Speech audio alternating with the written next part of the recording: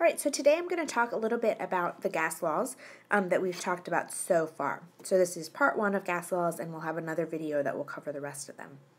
So you've been introduced to them in class, and we also had the video um, from TED Ed that talks about the ABCs of the gas laws. So today I'm just going to go over them um, real quick, um, just do a summary of all of them and a few examples of how we will do problems with these. So the first one we're going to talk about is Boyle's Law. And Boyle's law um, is the relationship between pressure and volume, and these things are inversely related, which means that as one goes up, the other one is going to go down. and the equation that is associated with Boyle's law is P1 V1 equals P2 V2. Okay, so the example we have here is a sample of hydrogen gas has a volume of 5.0 liters and a pressure of 1.0 atmospheres. So you know right away that since you're given volume and pressure that this must be a Boyle's law problem. All right, so we our initial pressure and volume are 1.0 atmospheres and 5.0 liters. So that's our P1 and our V1. And then it says that our final pressure, or what is the final pressure in atmospheres if the volume is decreased to 2 liters with no change in temperature or amount of gas. So this tells us that P2 is what we're trying to find, that's our X, and V2 is 2.0 liters.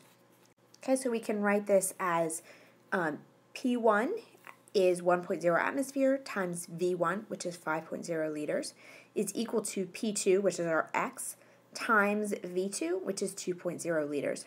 All right, now this is just basic algebra. I'm going to assume that you can do um, problems like this and solve for x. If you have problems, please come see me. So if we solve for x in this problem, um, we do 5, uh, 1 times 5 divided by 2, and so that gives us a P2 of 2.5 atmospheres.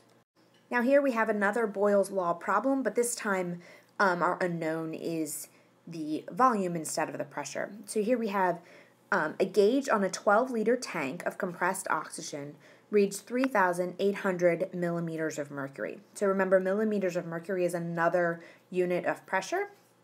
How many liters would this same gas occupy at a pressure of 740 millimeters of mercury if the temperature and amount of gas do not change?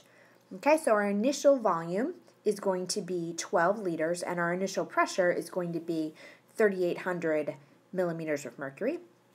And what we're trying to find is the liters at the end, so that's our V2.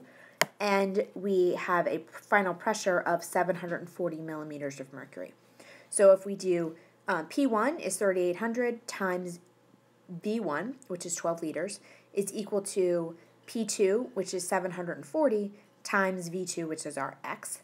All right, if we solve for X in this case, if we multiply 3,800 times 120, we get 456,000. And then if we divide both sides by 740, that gives us a final volume of 616 liters. Right now we're going to do Charles' law. So Charles' law is a relationship between volume and temperature. Um, and they are directly proportional, which means that as one goes up, the other one also goes up. And the equation that goes with Charles' law is V1 over T1 is equal to V2 over T2. All right, and just a reminder that anytime you're doing gas law problems, the temperatures must be in Kelvin, and this is the conversion here. All right, so the example we have here is a sample of argon gas has a volume of 5.40 liters and a temperature of 15 degrees Celsius. What is the final volume in liters of the gas after the temperature has been increased to 42 degrees Celsius at constant pressure and amount of gas? All right, so we have our initial volume is equal to 5.40 liters. Our initial temperature is 15 degrees Celsius, but we need to add 273 to that, so that gives us 288 degrees Kelvin. Our final volume is what we're find, trying to find, so our V2 we're just going to call X. And our te final temperature is going to be 42 degrees Celsius, but we get, again, we need to convert that to Kelvin, so that's 315 degrees Kelvin. All right, so if we plug that into our equation, we have 5.4 over 288 is equal to x over 315. Right? And If we divide 5.4 by 288, that gives us 0.01875 divided by 315 gives us x is 5.9 liters. All right, and you always want to go back and make sure these numbers make sense based on what you know about the gas law. So if um, our temperature goes up, we know that based on Charles' law, the two are directly proportional. So if our temperature is going up, our volume also has to go up, and it does. It goes up by just a little bit, about a half a liter. All right, and the last gas law for today is Gay-Lussac's law. And the Gay-Lussac law is the relationship between pressure and temperature. And again, these two these two values are directly related, assuming that the temperature is in Kelvin. And the equation is P1 over T1 is equal to P2 over T2. All right, so let's do this example. Aerosol containers can be dangerous if they are heated because they can explode.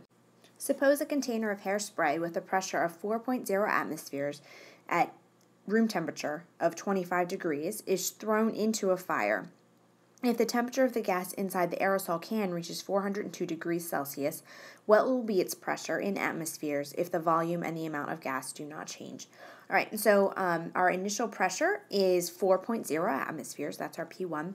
And our initial temperature, our T1, is 25 degrees Celsius. Again, remember we need to convert that to Kelvin. So that is 298 degrees Kelvin. And our final pressure is what we're looking for. So P2 is just going to be X.